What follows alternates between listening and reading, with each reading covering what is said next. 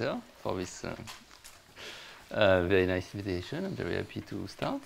So we speak about the spectrum of random graphs, um, and uh, broadly speaking, uh, I will try to um, I will uh, look. We will try to to understand some of the subtle connections between uh, the geometry of the graph and uh, its spectrum. Okay.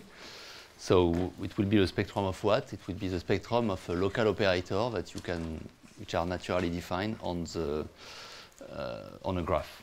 Okay. So today we will uh, I will do some. Uh, I will introduce some basic notion and the setup. Tomorrow, we will study uh, something which we'll call spectral percolation. So we'll look at uh, how does uh, the spectrum is perturbed by on random instance of graphs, how, how the spectrum of a random of a random graph behave. And on the last uh, course, uh, I will speak about uh, spectral gaps and outliers and extremal eigenvalues of graphs. Okay, but so today, so what will be the setup? So you have a graph, so you have a set of vertices, V is countable, and uh, you have a set of edges, and uh, which are pairs of uh, vertices. Okay, so our graph will be uh, locally finite.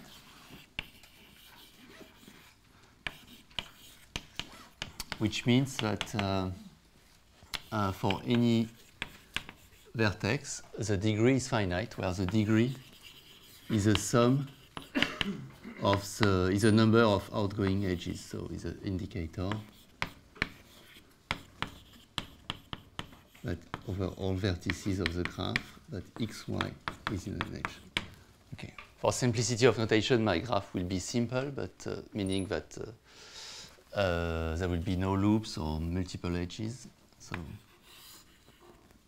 this is a multiple edge, that is x and y, and this is a loop. Uh, okay, but you can add them by changing slightly those notation. But okay, so my graph will be locally finite, meaning that the degree is finite for any vertex. Okay. When you have a locally finite graph, you can define the adjacency operator, or all uh, and many other local operators associated to your graph. So the adjacency operator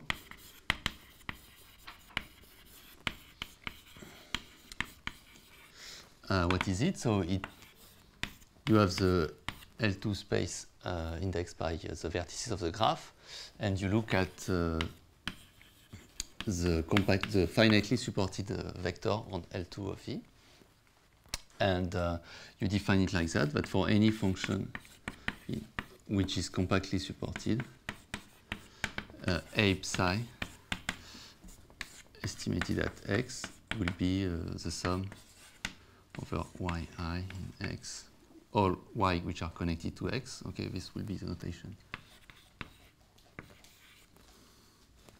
uh, of psi of y.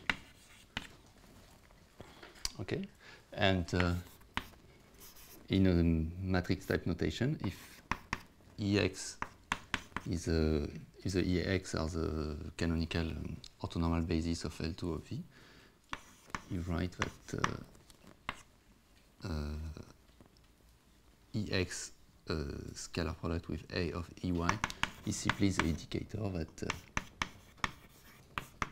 x is connected to y. Okay? And uh, and this this is this is indeed in L2 of V because the degree is finite. You can check that very easily. Uh, another uh, simple property is that if you look at so let's call that uh, a of xy ak of xy, okay, is uh, simply the number of, of walks uh, from x to y uh, of length k. Okay, so the power of the adjacency operator encodes the counting function of walks in your graph. Okay. Should I define what is a walk? So it's a sequence of uh, vertices, and successive vertices are uh, connected by an edge. Sorry, I think you explained it a few minutes ago, but what's the difference between L2V and L2CompV? It's uh, finitely supported.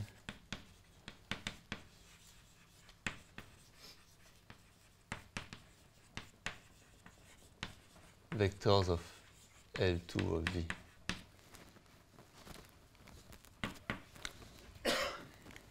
Okay, and uh, if my, gra my graph is simple, so if you have a meaning that uh, there is no orientation of the edge, so A is symmetric.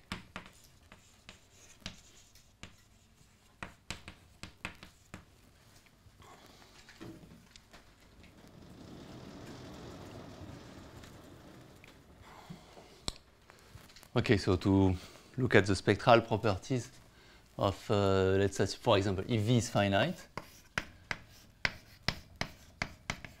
okay, so it's uh, uh, A is, uh, you know that A will be, uh, will admit an orthonormal basis of eigenvectors, so you will, you will be able to write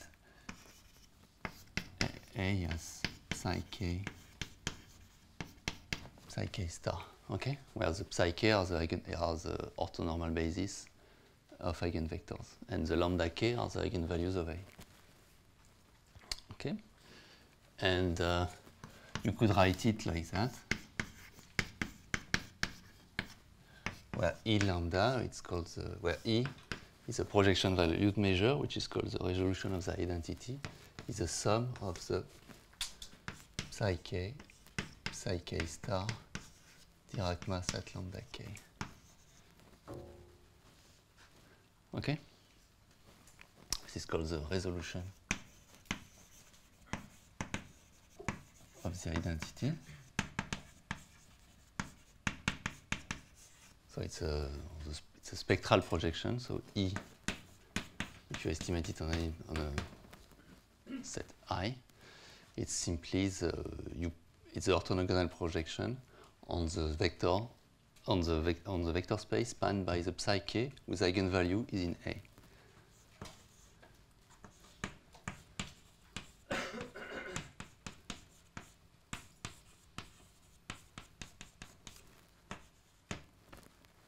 Okay, so so it's an orthogonal projection of eigenvectors whose eigenvalue is in A. Okay, so I write it in this uh, complicated way, you will see why. Uh, because if in the general case, okay, uh, use this uh, resolution of the identity still makes sense, uh, provided that your operator A is a self-adjoint.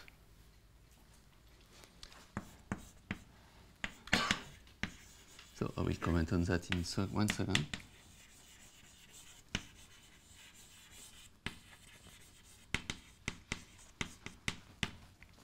So being symmetric is not enough to uh, to, to be self-adjoint. For example, A should be could be bounded. Maybe I could have written that. But um,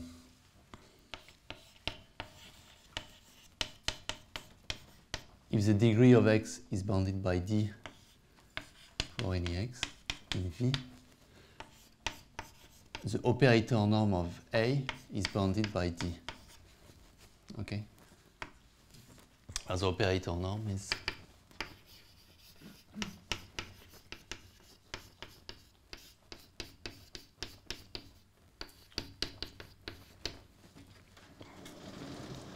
So, for example, if the degree is bounded, uh, your operator is a bounded symmetric operator, it is self-adjoint. When, when the degrees are not uniformly bounded, uh, there are examples of graphs which are not which are which does not have self unique self-adjoint extension. Essentially means that there is a unique self-adjoint extension. Uh, so if A is essentially self-adjoint, then you can always use uh, you can al also write A uh, will also be uh, unitarily unitarily equivalent uh, to uh, diagonal operator.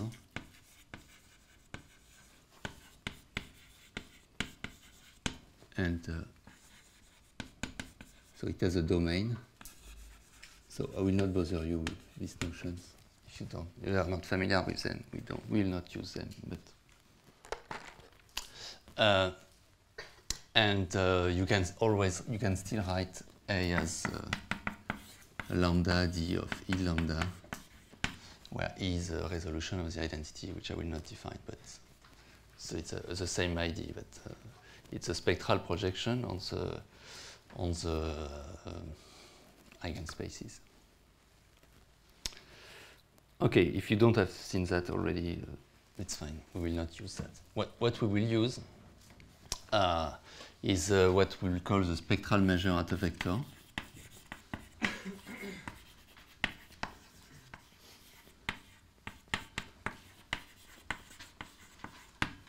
If you take a vector psi,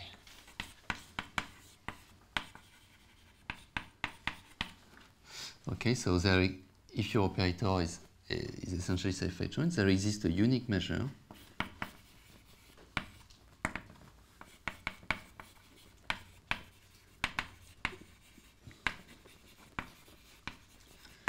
such that uh, the moments of this measure, so I will denote it like that, mu g of psi, uh, are equal to the scalar product of psi with respect to the power the, of the powers of ak for any k. Okay, so this measure, uh, let's see in examples what is it. So this measure, it's just uh, uh,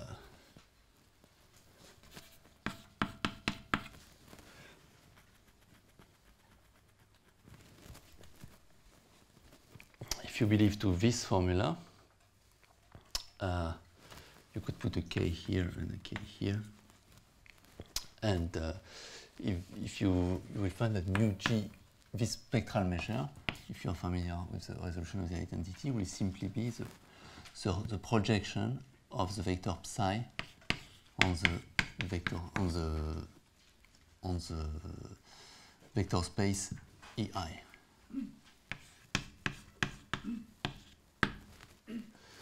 Okay, so uh, in the finite case, uh, we have seen that it will simply be the sum of the psi k scalar psi squared uh,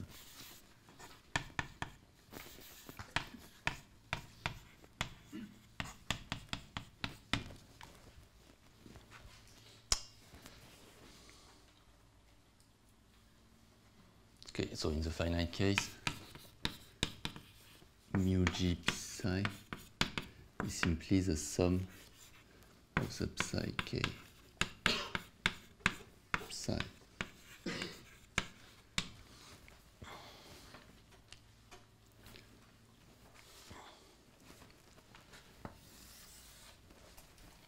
Uh, Do we really need psi to become better supported? what? Do we really need psi to be compactly supported? Well, no, we need that, but if you call the domain of A uh, D of A, this will be true for any psi in D of A. For example, if your operator is bounded, it's true for any. When your operator is bounded, D of A is just L2 of V. So it will be for any. But I want to put under the carpet uh, on this uh, uh, uh, issue with domains. Uh, so, uh, for example, the, the, the, the Cauchy Stieltjes transform, uh, maybe should, I should have said that also. If, if psi is normalized, mu g of psi is a probability measure.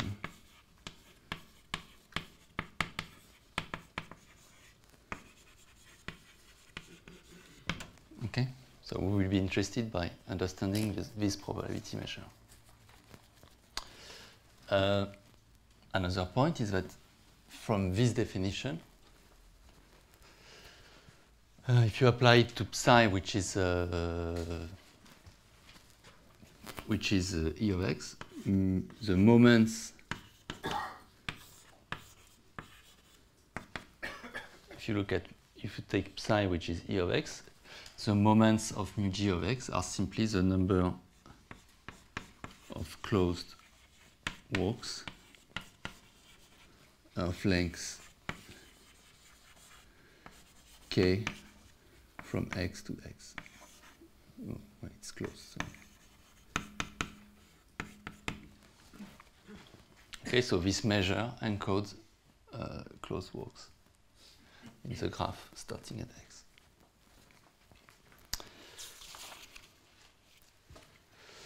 Um,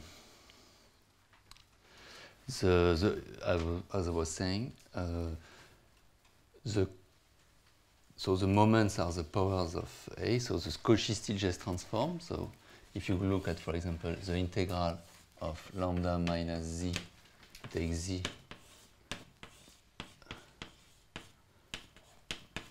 Oh, okay, let's say imaginary part of z. The Cauchy-Stieltjes transform of this measure psi will simply be the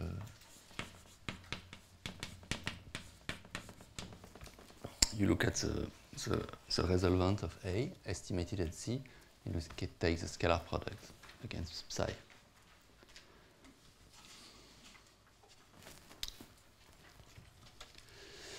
Um, okay.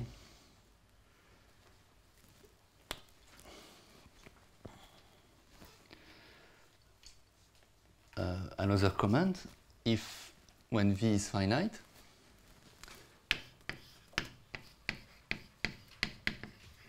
okay, and uh, if you take the sum, so let's say cardinal of v is n, if you take the sum over all of the, if you take the spatial average of the spectral measure and the vectors, Okay, so the spatial average of the spectral measure at the vectors against uh, and spatial average with respect to the, the canonical basis. You apply uh, this formula. so this is the sum.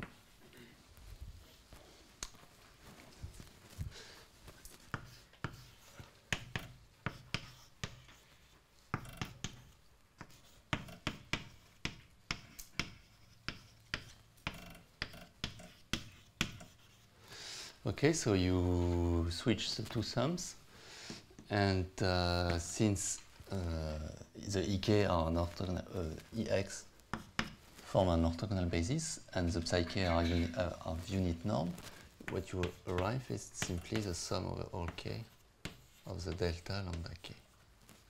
Okay, which is the empirical distribution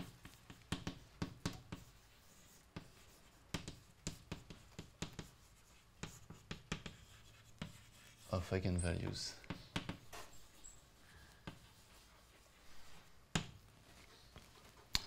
Right? Uh, which will we call also the average spectral measure.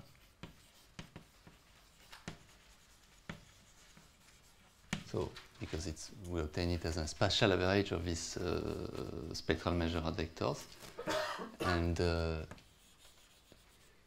in the physics community, it's sometimes it's usually called the, at least its limits as the graph size of the graph goes to infinity as the density of states.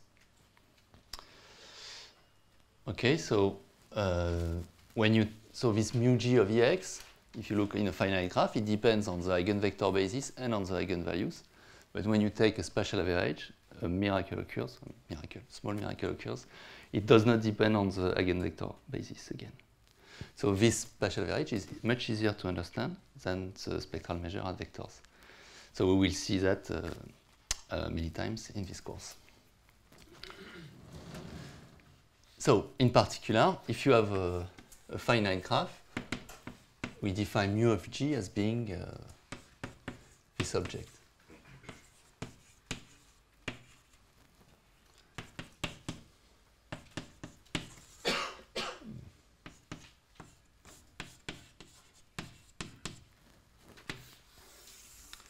which we call, okay, the average spectral measure of the graph. So we'll be interested by this measure when the size of the graph is large and on random instance of graphs. Uh, you can make some computation if you look at mu of a cycle of length n. Okay. Uh, this will be, uh, you can make it, uh, this will be the sum of the 2 cos of 2 pi k over n. Okay, so because the adjacency matrix, you will write it as uh,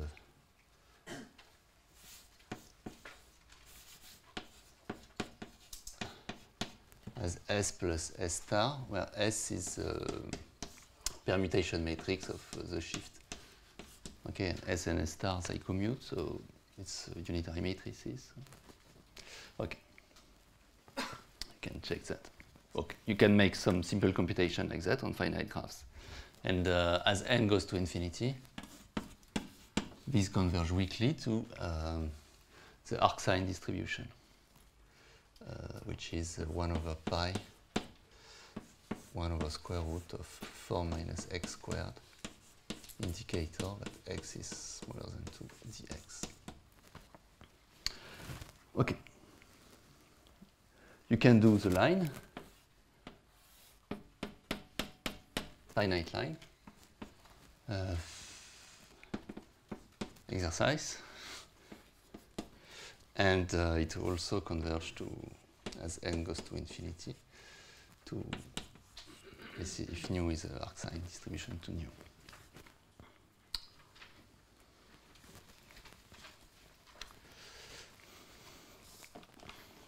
Okay, so now uh, what we want to do is want to to to build to construct this uh, spec. So we have on finite graphs at least we have we have constructed an object, the very spectral measure, which has a nice property to be to depend only on the eigenvalues and not on the eigenvectors. We want to do the same on infinite graphs. So the first setting in which it's it's uh, simple to do is on uh, transitive graphs. So I will do it for Cayley graphs. Uh, what should I erase? Uh, I didn't use that.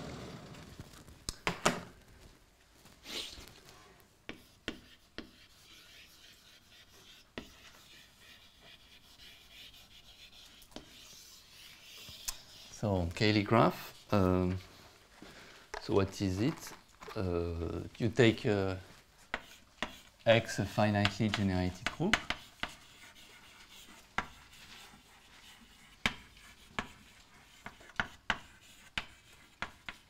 Okay. And you take S, a symmetric set of generators. So symmetric meaning that S minus 1 is S. I will use the multiplicative uh, notation for uh, group uh, operation.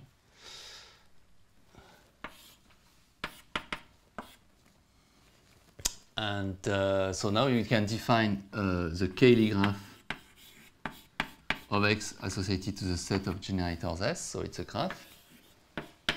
Okay, so the vertex set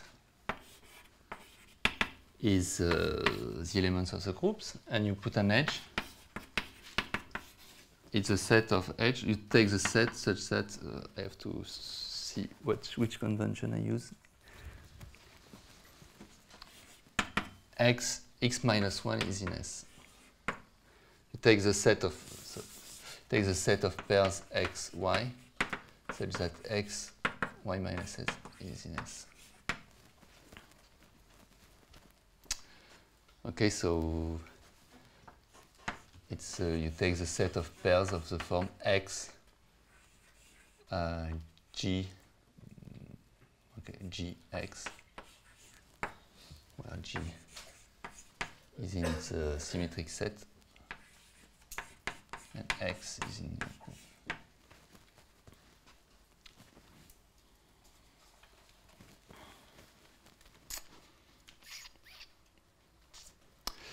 Okay.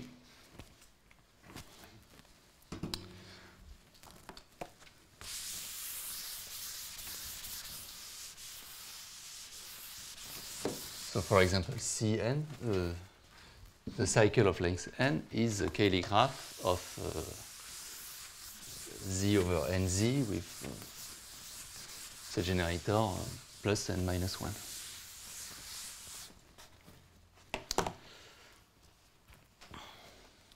Then you can the the uh, adjacency operator. So maybe I can make a picture.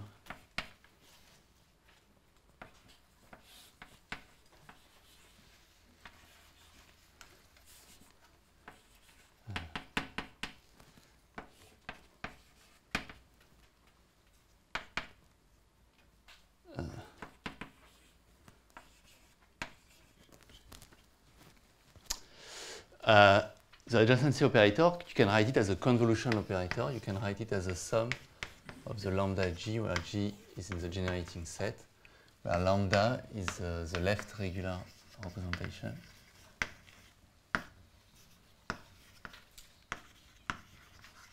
So it's simply the presentation.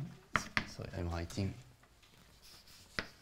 Uh, so it's simply the multiplication operator lambda g of, uh, let's say, ex is simply e of gx. Okay, so A is a convolution operator.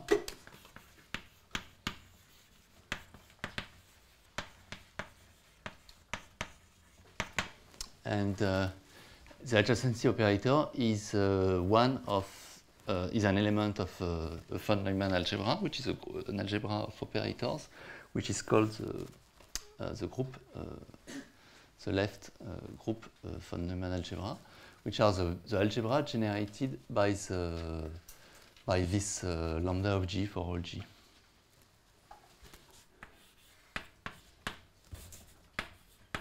It's a comment. So the von Neumann algebra associated, the group.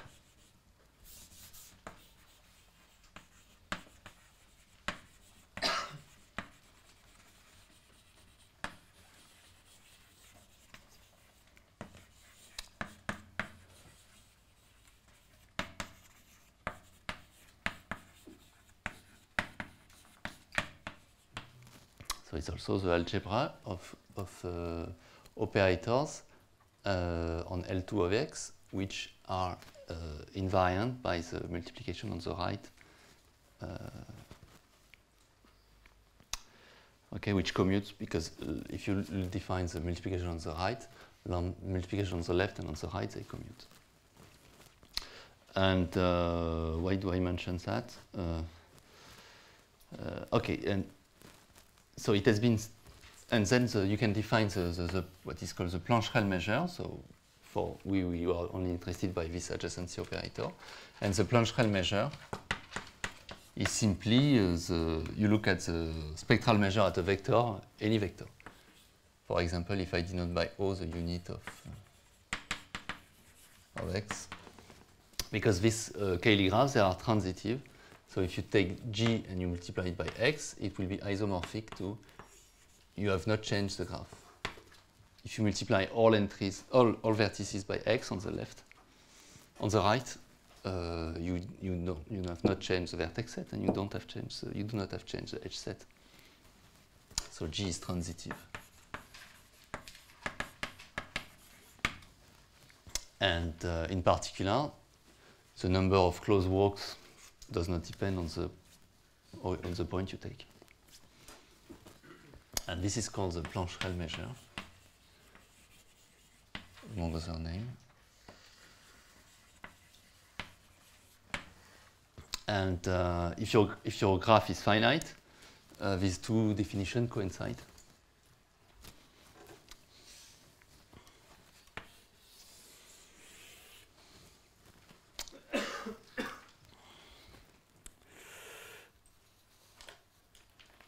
Okay. Um,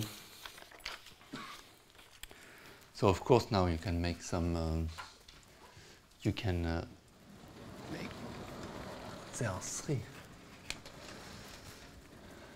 Uh, you can uh, make some computation. So mu of of z.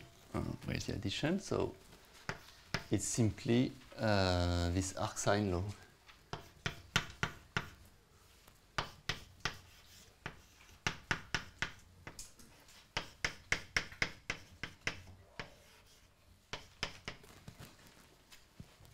Okay.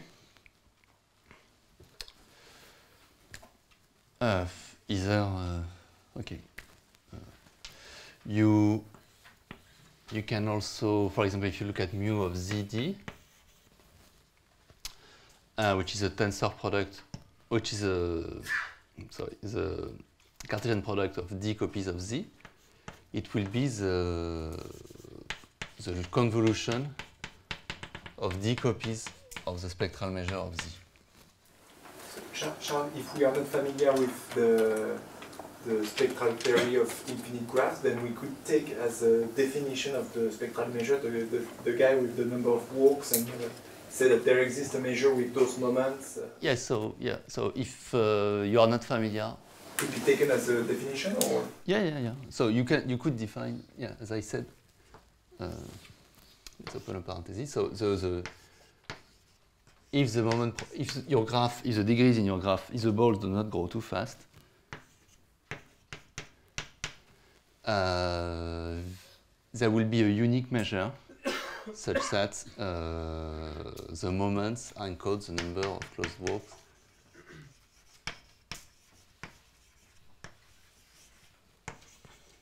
uh, there will be a unique measure which would satisfy that and it can be your definition. Yeah. And for example, to check these formulas, for example, you could just look at the generating function of closed walks on Z, on ZD, and uh, that's, that's one way to prove them. Another way is to, to compute their Stieltjes transform. Okay.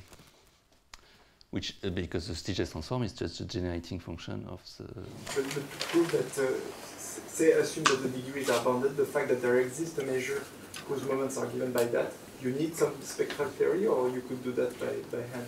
No, no, you can do that by hand if you just check that. Uh, so the fact that it does not grow too fast, this is trivial. So you will have They exist- always. There, yes, so there is some positivity that you have to prove, but uh, it's not that uh, tough. It will rely on the symmetry of the operator A. Um, okay, so so usual uh, group operation like Cartesian product or tensor product uh, will uh, will will have you you can you will be able to if you have a tensor if you have a Cartesian product between two Cayley graphs between two graphs the spectral measure will be the usual convolution operator of the two of the two uh, spectral measures. You can do uh, also other type of products. So for example, Kesten has computed the spectral measure of, of the tree of an infinite, uh, I think it was in 58, uh, of the infinite irregular tree, and so on. And uh, there is a nice explicit formula. Uh, so it's called the Kesten measure, the Kesten-McKay measure. It's d times square root of 40 minus 1 minus x squared divided by 2 pi d squared minus x squared. Uh,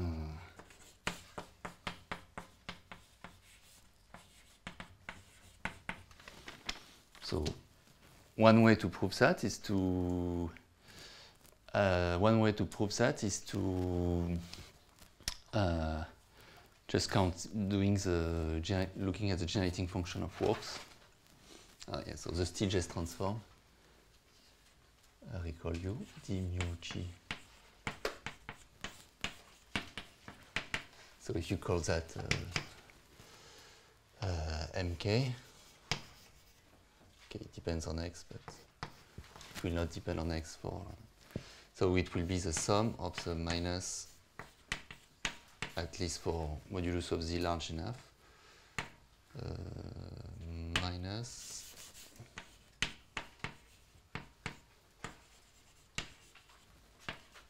Okay, so the Stieltjes transform is just uh, the generating function of the walks. And so you could compute the, the you can compute the generating function of closed walks on uh, the infinite tree, and you will find this computation. That's what Kesten did. The, the tree is also the free product of uh, z over 2z of d copies. So this would be the free product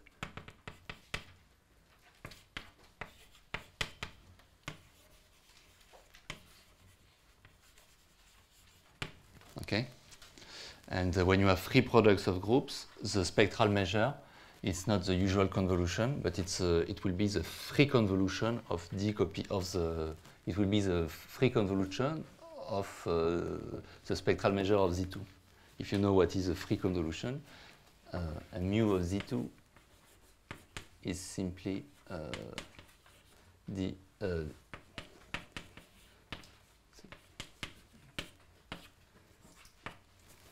So this is a free convolution of d copies of uh, a Bernoulli variable.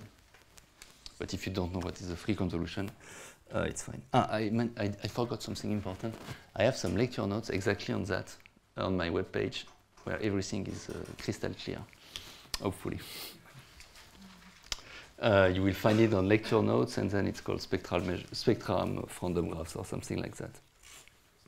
Is it the, the 2D regular tree in this case of uh, so the 2D regular tree will be the, the, the would be the free product of d copies of z. Ah, okay. But if you take z over 2z, it will be uh, okay. So you could write if d is even, it will be the. It's also the free product of uh, d copies. And for example, the arcsine law is uh, the free convolution of two copies of the two, two Bernoulli variables. Okay. Um, okay, so I will not go much more into explicit computation. Maybe at the end, uh, if I have time, I will do a fantastic computation. Uh, very nice, uh, because there are. There are, uh, as I said, uh, there are examples where the, an important point is that the spectral measure depends very strongly on the set of generators. It's not something which only depends on the group. So it depends on the set of generators and on the group and on the group and on the set of generators. Uh, there are some examples of. Uh, so if I have time at the end, I will do this computation. I would love to, but we will see. Will define the Lamplighter group, uh, and uh, with an exotic set of generators, uh, Grigorchuk and Zuk.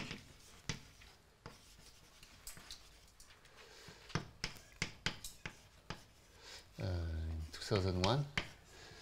Uh, they prove that the spectral measure, the Plancherel measure, the spectral measure of this group with an exotic set of uh, with an exotic set of generators uh, is purely atomic.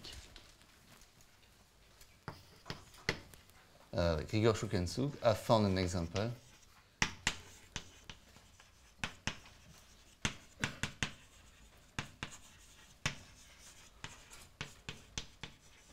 of a purely atomic uh, spectral measure.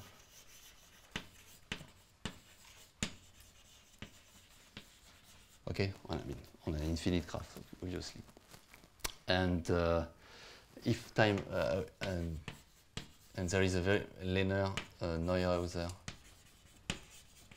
and thus, uh, they have given a very neat proof of uh, this uh, Grigorchuk-Zuk result. And they have shown that lamplighter groups with this exotic set of generators, they are related to percolation graphs. Uh, I hope that I will have time to make the, the computation explicit, otherwise we'll do it in exercise. Okay, uh, now uh, I want to continue and to define, I'm more interested by random instance of graphs. So I want to extend this notion of spectral measure, average spectral measure, to uh, graphs which have some stationarity, which so what graphs would, which will be unimodular. So let's uh, start. Uh, so this was Cayley graphs. What can I do to get that back? Ah yeah. Okay, I will use the U.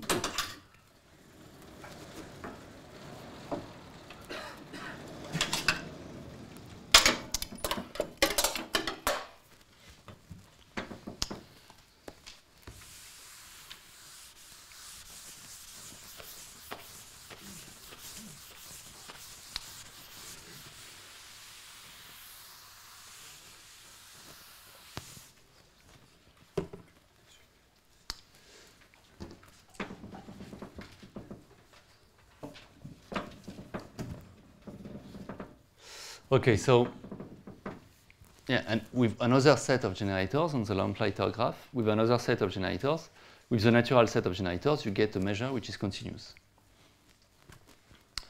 Uh, uh, so, what? So unimodular graphs.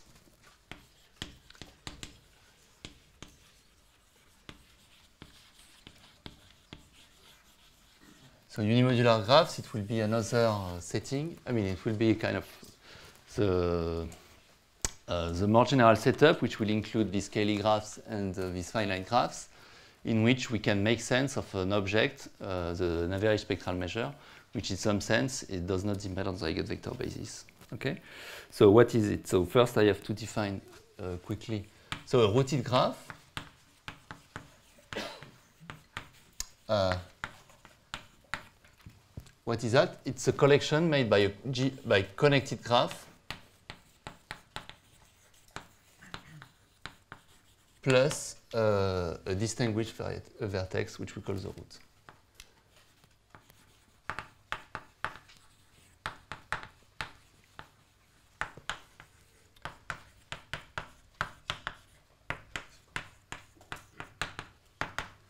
Okay?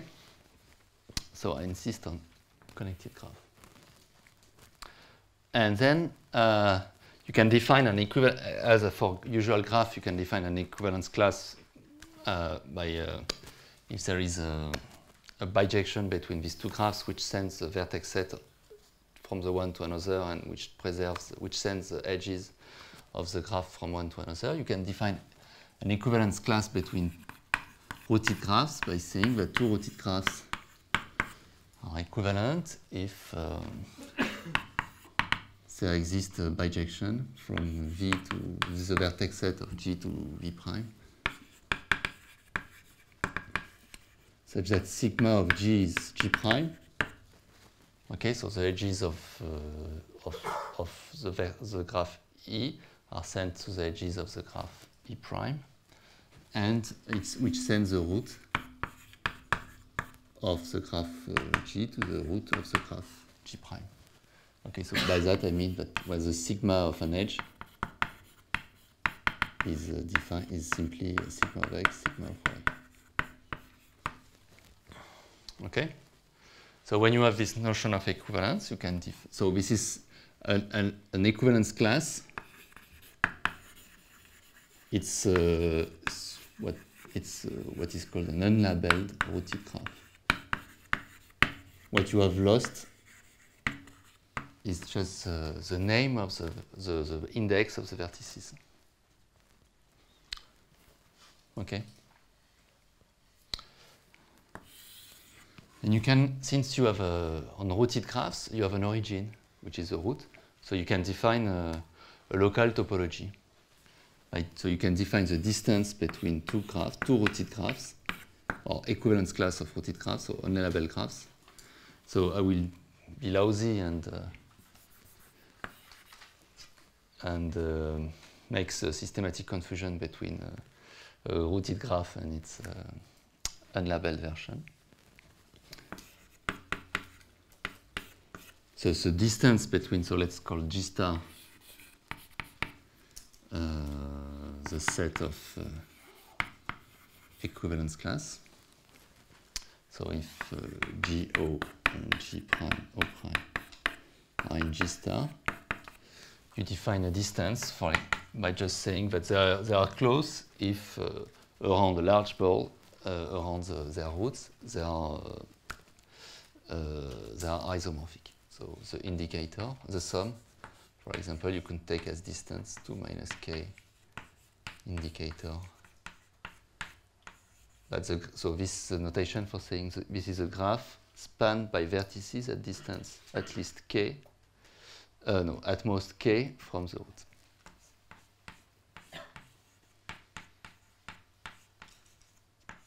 Okay, and by that I mean non-unitary. So this defines the distance on uh, G star. So this defines a local topology.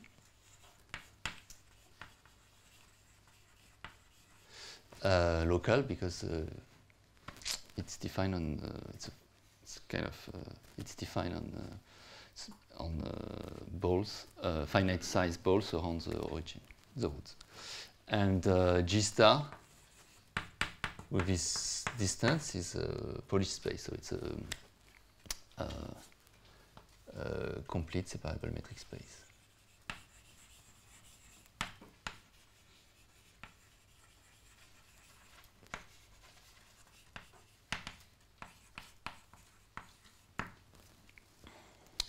So you you are in a good setup to to, to study the probability measures on G star and uh, with the distance, which will be the Levy distance, so the, the distance of uh, uh, consistent with uh, weak the weak topology associated to this distance t.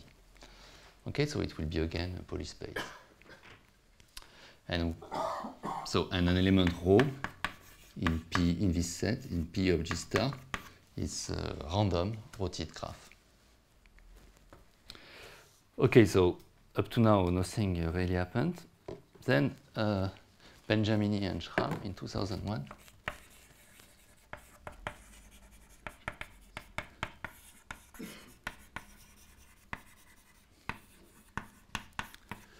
uh, they um, uh,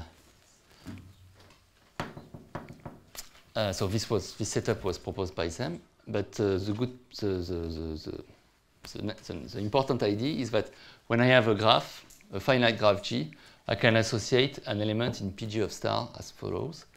So you take G, a finite graph, and you define U of G as being, so I will write it in two ways. It's the law of you take O uniformly you take a uniformly distributed vertex on you root it at a uniform point on the set of vertices of G and you look at the connected component G of X is the connected component of of X in G. And uh, so you look at that. So in other words this is 1 over V sum over all x in phase of Dirac mass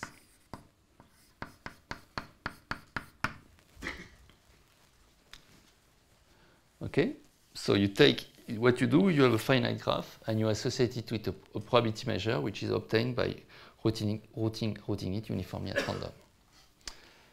For example, so you have lose some information on the graph.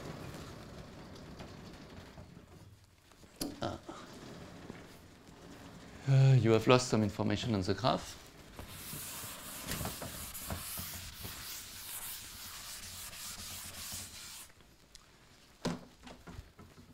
For example, if G is uh,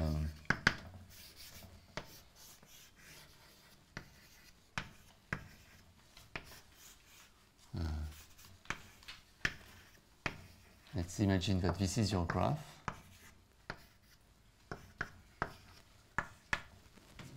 Okay? What u of g will be? It's, it will be uh, 4 over 7 times the Dirac mass as that, plus uh, 3 over 7, no, uh, plus uh, 2 over 7 a Dirac mass at that rooted here, plus 1 over 7 a Dirac mass at this graph. Okay? So you have lost some information, you have lost the labels, but you also have lost some information on the connected components. Okay. So uh, this measure U of G enjoys a very nice property. They are uh, unimodular.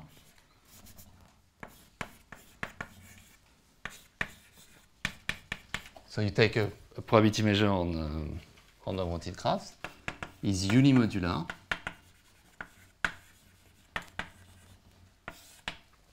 Uh, if okay, so I've defined G star, so you can also define uh, G star star, which would be the set, the uh, unlabeled, unlabeled doubly routed graphs for any measurable function. F. So this will be the double, doubly rooted graphs, unlabeled doubly rooted graphs. Uh, so it's a it's a function which takes as a, as entry a, a graph and two vertices, and which is invariant by uh, which is invariant by um, uh, by relabeling of the edge. That's another way to put it. So if for any function like that, so for example, we'll take it positive, you have uh, this equality. So I will write expectation of rho to say that I take the, the expectation of something, where the, uh, the expectation is taken with respect to this uh, measure rho. The sum over all vertices in my graph of f of g o x. So under rho, g o as low rho, okay, is equal to the expectation of the same thing of f of g x o.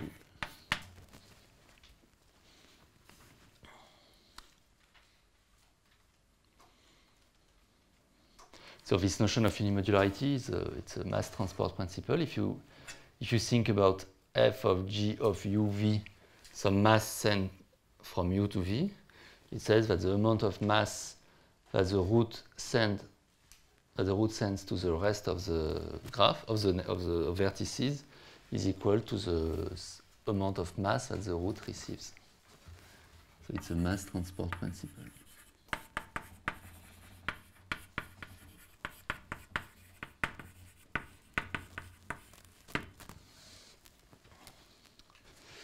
And um,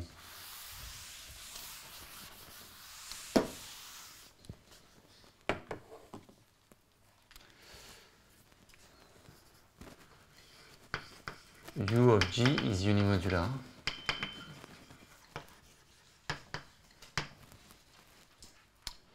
Uh, for you take a finite graph, uh, u of g satisfies that. How can you realize G O X as a, a equivalent class of uh, graph? How do I realize what? G O X as uh, an element in G star. So in this notation, so GO is a is a random is a is a random rooted graph whose distribution is is a rho. And now I sum. So GO is a well-defined object, so it has some vert. The V is a vertex set of G. And I sum over all vertices of X of G of. So F is defined on G star. G star star. F is defined on a G of star star, but since I have a variable, I can define, uh, since I have my, my random rooted graph, it has some vertices, so I can take uh, F of uh, G of UV. It's just that the pair formed by the vertex and the root as distribution rho. The pair formed by the graph and the root as distribution rho. Uh, yeah, the notation is a bit confusing. I cheat a little bit, but uh, let's let's see what this. If, if U of uh, I claim that U of G is unimodular, let's take that. So what is this expression on the left-hand side? Let's say there is a cardinal of V. There you go. So one of cardinal of V. This will be the sum. I take I, I sample the root uniformly at random. So sum of so this is my expectation with respect to rho of f of g of y y x. Okay, so because when I sample the root, I take the root y, I, my graph g, I, uh, I recall you, but it's the law of g o o where o is uniform at random. So it's g of y, y, x. This is what is on the left hand side. Well, g of y is a connected component of g which contains y. Okay? So, but g of y is equal to g of x if x and uh, g are connected, if, if x in the, is in the connected component of g of y. So, what is on the right hand side? Uh, because okay, so this is more precise. So you can rewrite it as the sum of that, of the sum of y belong to g of x, of f of g of x,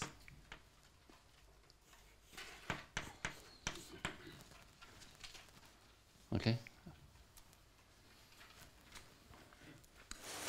You mean what's the expectation on the right hand side? On the right hand side? Ah, rho, rho. Sorry. And so this expression is exactly uh, the expression of rho of the sum over all y of f of g uh, x uh, g y o. Okay.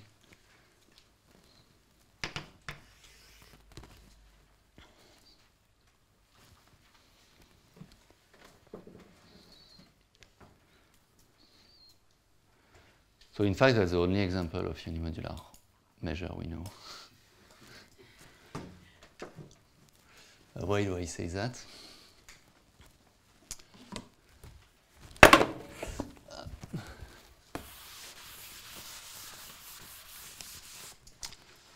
Why do I say that? Uh,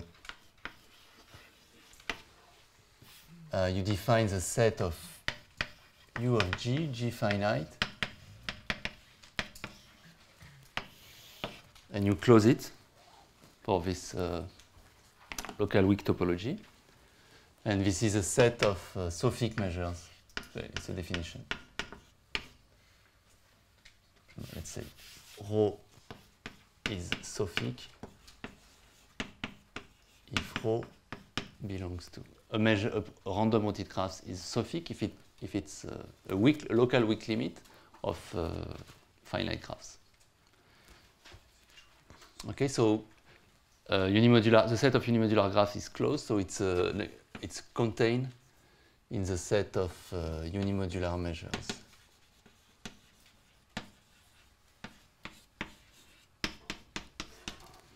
But uh, we don't know an example of a unimodular measure which is not sofic. So that's what I said. This is the only example of unimodular graphs we know. For example, um,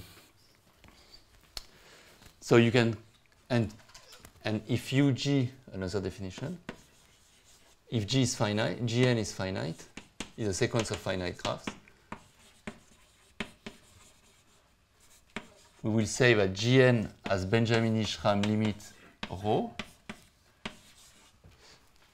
if um, U of Gn converge for in this uh, topology, in this local weak topology, uh, to uh, rho. Okay? So BS is for Benjamini-Schramm. And rho will be, uh, by definition, it's a sofic measure. But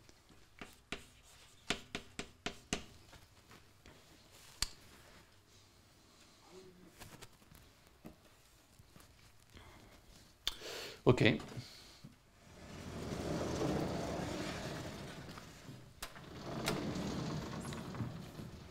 Some examples uh, quickly.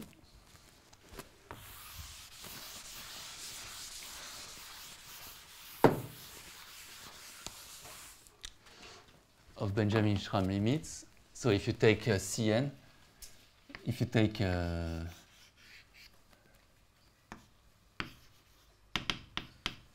okay, so Cn as Benjamini-Schramm limit, uh, a Dirac mass at Z centered at the origin.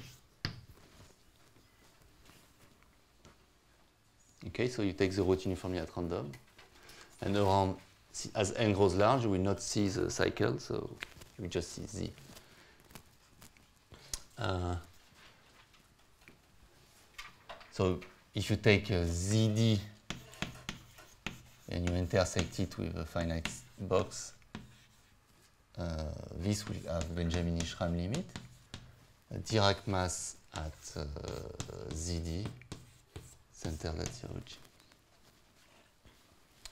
If you do the, per for example, if you do site percolation,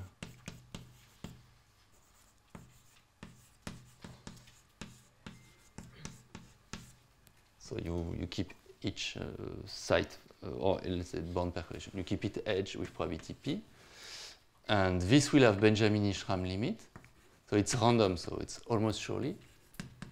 This random graph will have Benjamini-Schramm limit. The law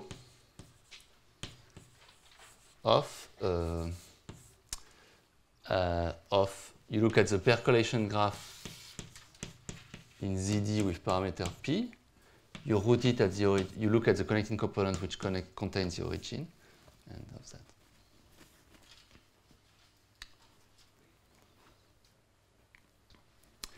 Uh, if you take a, a d-regular tree, uh, if you take, a, for example, a binary tree of depth uh, n, mu of uh, Tn, sorry, will have Benjamini-Schramm limit, which uh, it, let's say, uh, you take a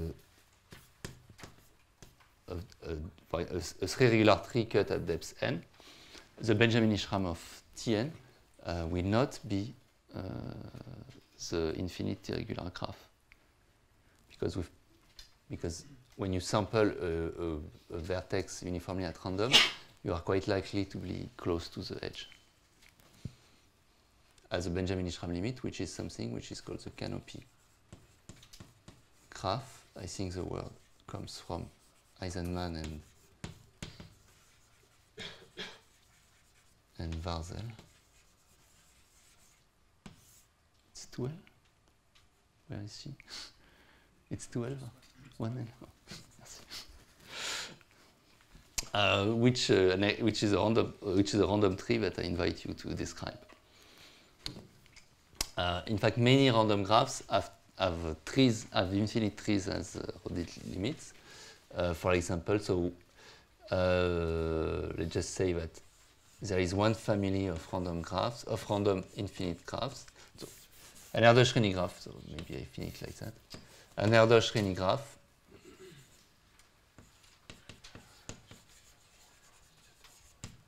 with n vertices and c over n, where you put you have n vertices and you put an edge uniformly, you put an edge independently of probability c over n. It will have almost sure limit, a Benjamin Ishram limit, which will be a Galton-Watson tree uh, with Poisson offspring distribution. A Galton-Watson tree with Poisson offspring distribution. Which, by the way, it implies that this tree, this random tree, is uh, unimodular. It's a nice exercise to check directly that this tree is unimodular. And, uh, okay, and so on. in fact, all graphs, all sequence of finite graphs have, uh, nearly all sequence of finite graphs have Benjamini-Schramm limits. For example, uh, can just say that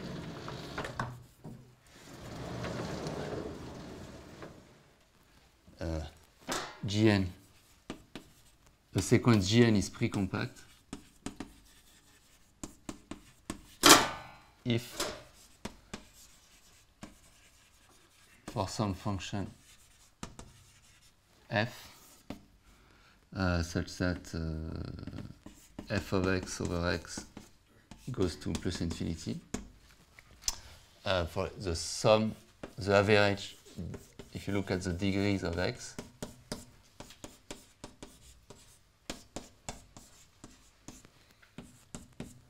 so as soon as the degree sequence is uniformly integrable, uh, your sequence is pre-compact for this Benjamini-Schramm limit. So all families of graphs that you will come up with, which have degrees which are not too wide, they have some uh, Benjamini-Schramm limit or subsequential limits.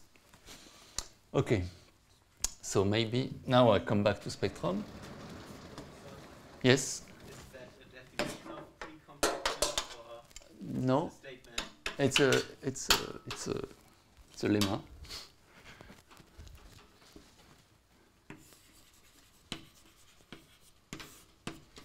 So pre-compact meaning uh, its closure is compact. Okay. So and uh, a, a sufficient criterion for being pre-compact for a sequence of finite graphs to be pre-compact in sense of the Benjamini-Schramm topology is to have these degrees uniformly bounded.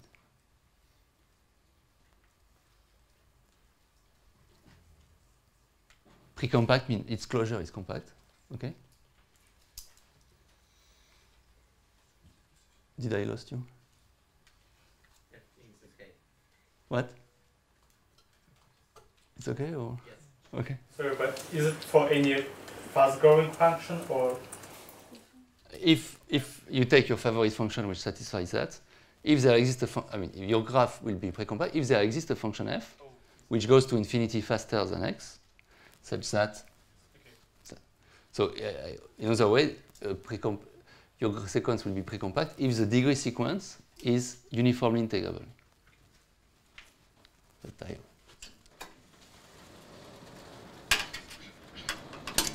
This is uh, la Vallée-Poussin criterion of uh, uniform integrability. Okay, so back to spectrum. Uh, back to spectrum. Ah, I forgot to say something. Uh, okay, too bad. Uh, back to spectrum.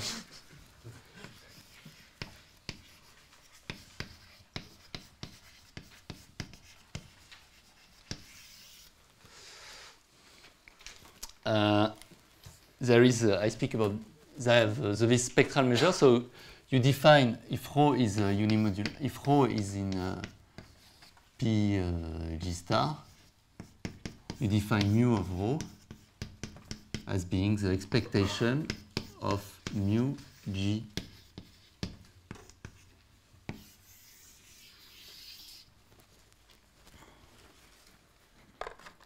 Okay, so this is if rho and almost surely the adjacency operator of G is essentially self-adjoint.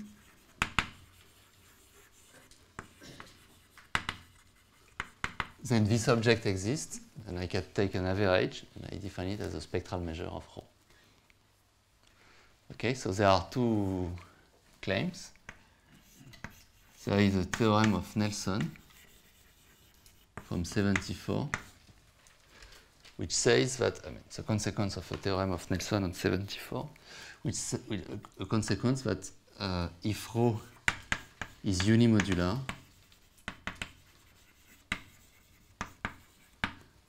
uh, A, rho almost surely, A is essentially self-adjoint.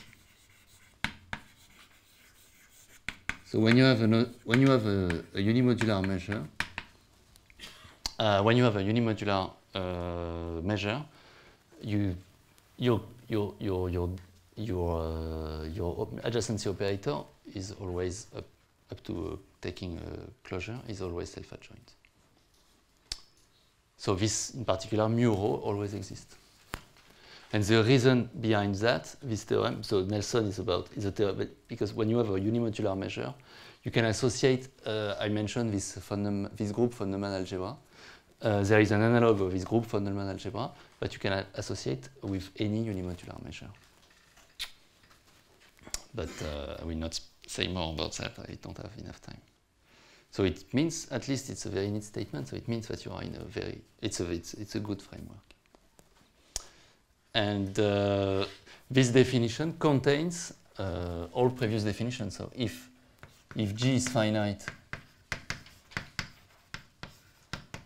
uh, mu of U of G.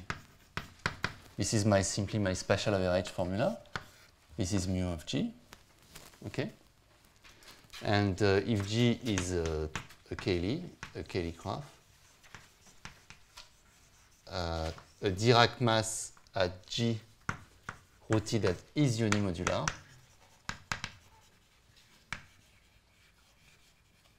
Uh, okay, and uh, mu of G, and again mu of mu of Dirac mass at is mu G.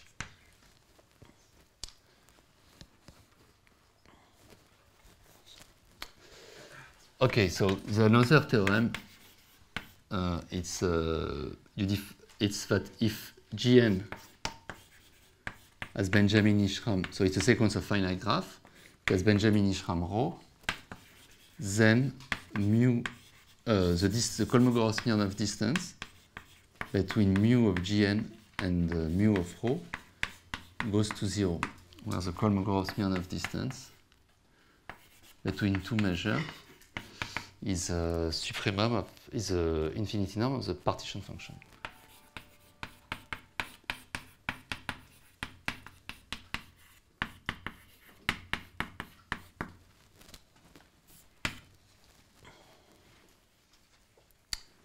So, um,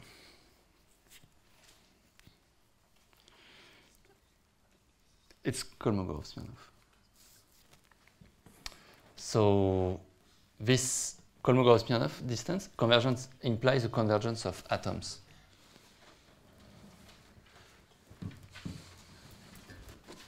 So this theorem probably it's uh, uh, we can credit it to probably to Abert.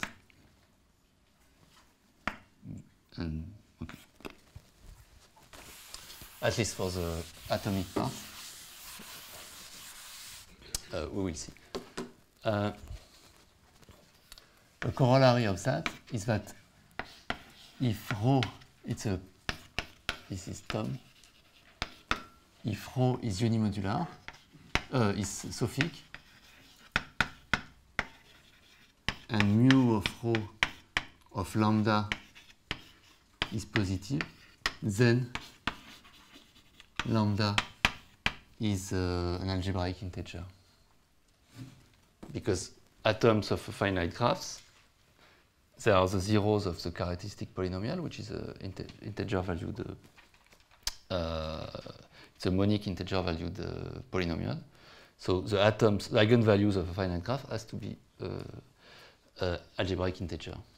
So it's, it's even a totally real algebraic integer. Totally real means that all uh, Galois conjugates of the of lambda are also algebraic integer. Uh, algebraic.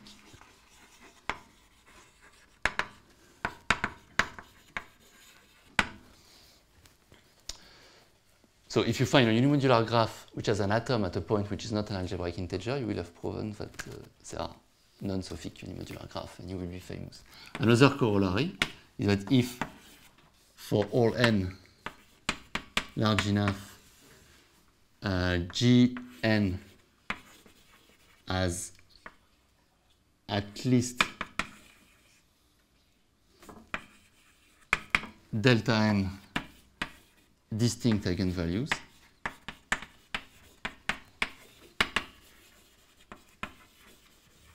then uh, the and the Gn as Benjamini-Schramm rho, then mu of rho, its continuous, if you look at the total mass of its continuous part, is at least delta. And again, it's an exercise, but it's bas based on the fact that when you converge in Kolmogorov distance sense, you converge, the atoms converge. So let's uh, prove this uh, theorem.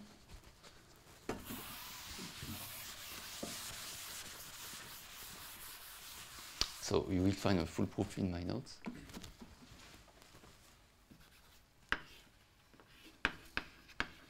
So if the statement would have been the, the, the, the but mu of gn converge weakly to mu of rho, it was it would be very easy. So let's assume for simplicity that the degrees are bounded. Are bounded uniformly.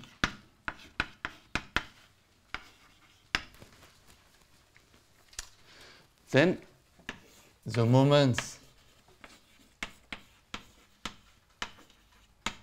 is simply the number of closed walks by the Nicolas definition. Number of closed walks from the root to the root of length k.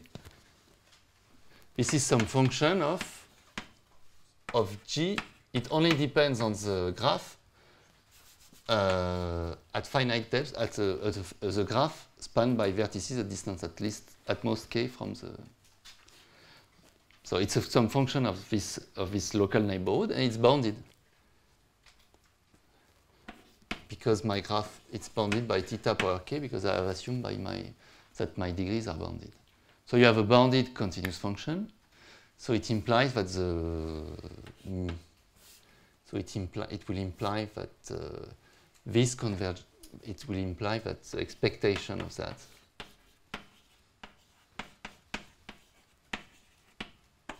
which is the case moment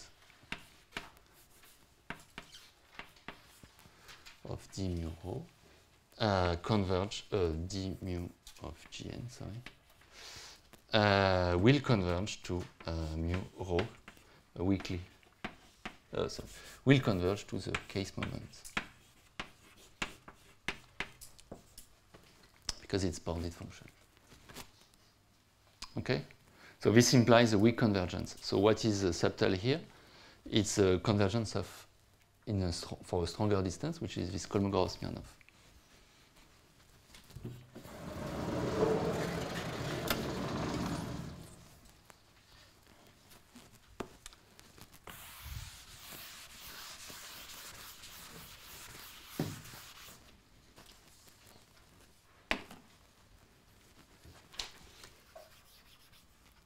So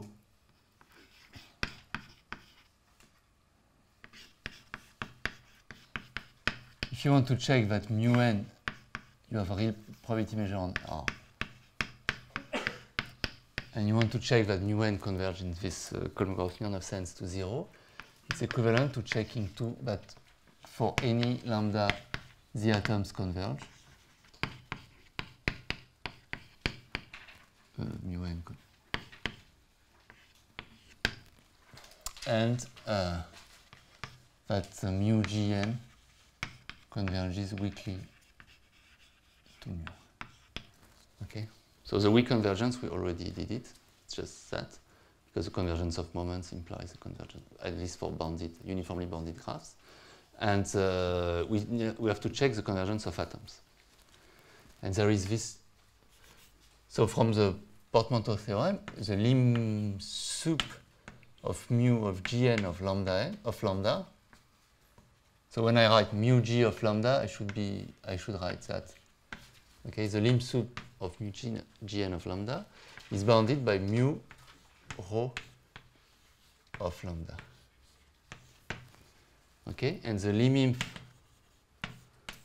of mu gn of uh, lambda minus epsilon lambda plus epsilon it's at least mu rho of lambda minus epsilon, lambda plus epsilon, which is larger than mu rho of lambda. So the statement that the atoms converge is implied in this lemma, which is due to Lück, which says the following that for any lambda and uh, theta, there, exi there exists a continuous function delta, so which depends on lambda and theta, such that delta of 0 is 0, and for any finite graph, for any finite graph G with uh, degrees in G bounded by theta, uh, mu, you can bound the mass of the interval of size epsilon around lambda by the mass of the atom at lambda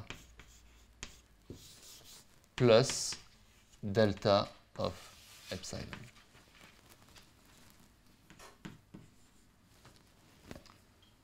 So if you buy this lemma, uh, you will get precisely uh, the convergence of atoms.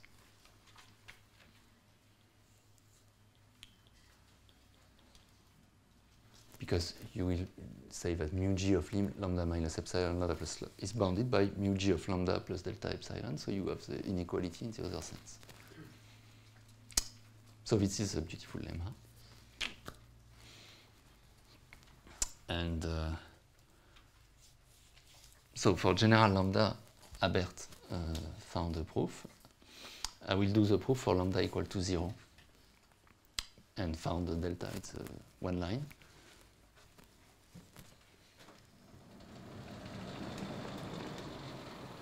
Excuse me, do we assume that degrees are uniformly bounded for all graphs or for each?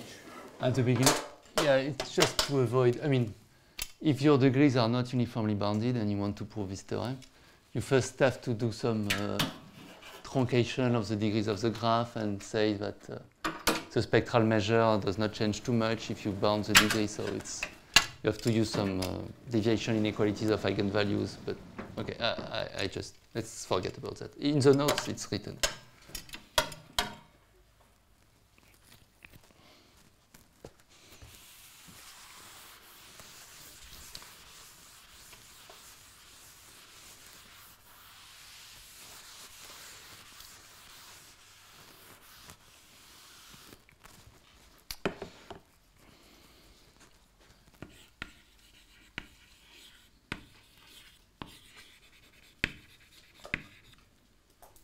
So when lambda is equal to 0, uh, what do you do? You say, you observe, so G is my finite graph. You take lambda 1 up to lambda n, let's say that G.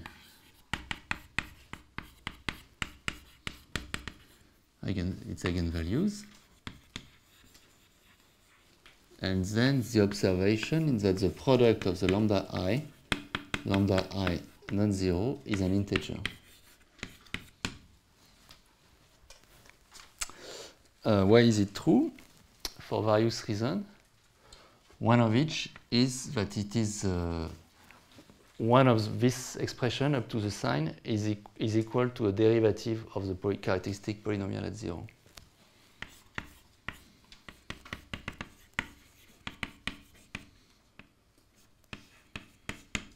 Okay, so the case derivative at zero will be the sum over all subsets i of cardinal k of the product of the lambda i not in i of the lambda i's.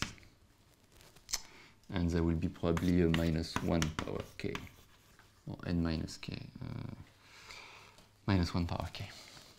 Okay, so you take k as being the dimension of the uh, image of A, and you will get that. So in particular, uh, its absolute value, since it cannot be zero, is at least one.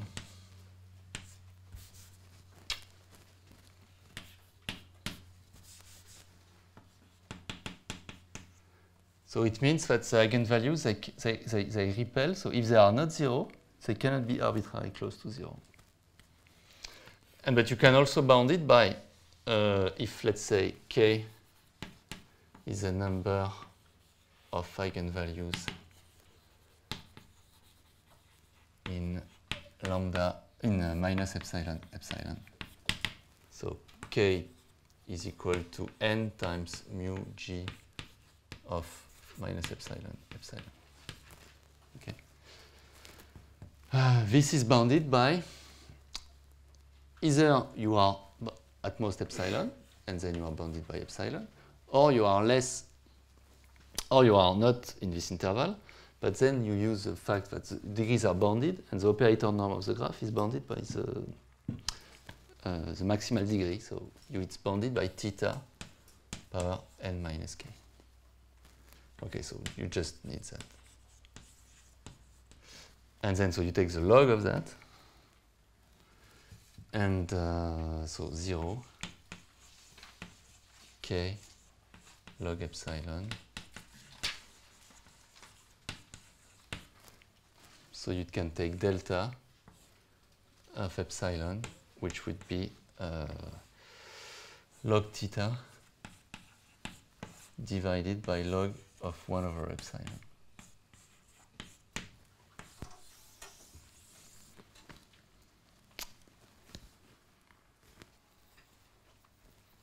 So this is for lambda equal to 0, more general lambdas, uh, you can see in the note, but uh, it's the same idea.